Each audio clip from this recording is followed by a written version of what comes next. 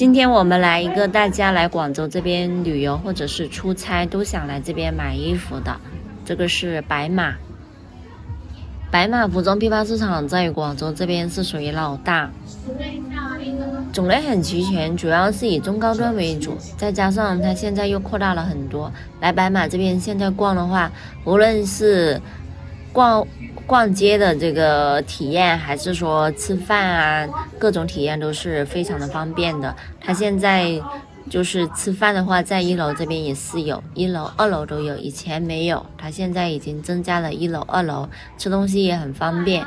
逛街的话就更不用说，你如果是来这边买衣服的话，它整个空调还有其他各方面体验度都是非常好的。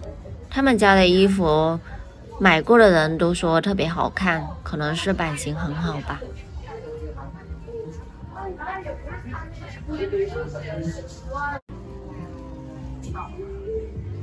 白马楼上的衣服会更多，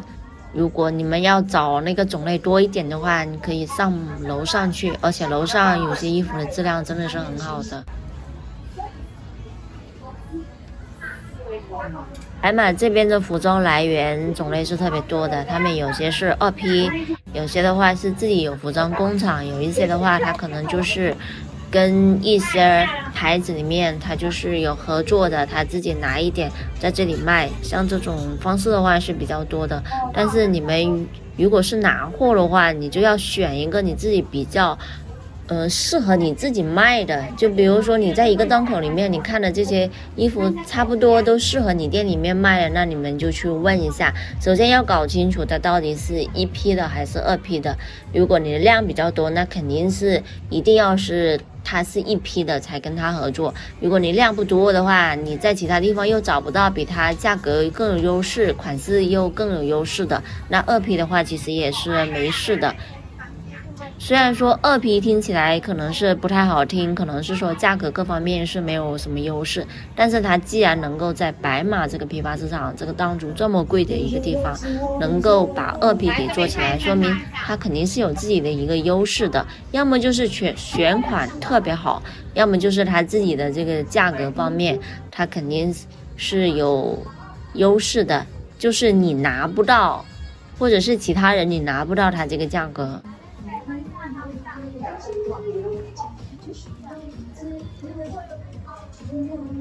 在这边批发的话，它报的价格是多少就是多少，它是根据你自己拿的量来的，批发是不能讲价的。在这边零售可以适当的讲一点价格，这个只是针对那个新款来说的，但是砍价的这个。规则的话也不像其他的那种零售的砍价一样的，不能说对半砍。如果对半砍的话，那估计有些档口有些人脾气比较急的话，那可能他们就会说了啊。只能说适当的，你们根据你自己当时的情况来。最近这一段时间，每天都会有好几个人私信问批发市场十三行那边是不是。有档口在直播，而且加的价格都是特别的低。如果我说实话的话，估计会有很多人不高兴，也不是他们想要的一个答案。我可以从一个比较中肯的这个角度去跟你们说，那边档口有是有的，但是相对来说，真的没有说，呃，很多档口他去直播的。可能有人会这么反问我说：“我是做直播的，我是在维护自己的利益。你们如果是老粉的话，应该知道我做直播的话是没有做起来的。我只是有时间，偶尔的时候就直播一下。但是我主要的话不是以直播为主。说实话，这些档口直不直播对我影响也不大，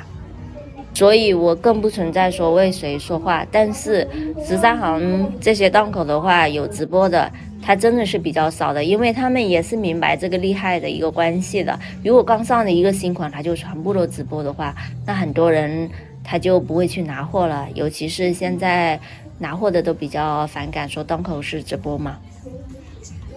我去那边打货的时候，有些档口知道我是做网上的，刚出的新版的话都。会跟我说这个版我们是刚出的，做网上的话，公司有规定，暂时还不能拍，对不对？那这个毕竟也是人家的一个生存之道，那我这个时候的话，我肯定也是不会拍的。更何况说，要做直播的，直播的传播速率会更快，因为你马上你一直播，你所有的款式你都是让别人知道了，大家啪啪啪全部都拍完了，那你这个档口还怎么去给批发给其他的客人，对不对？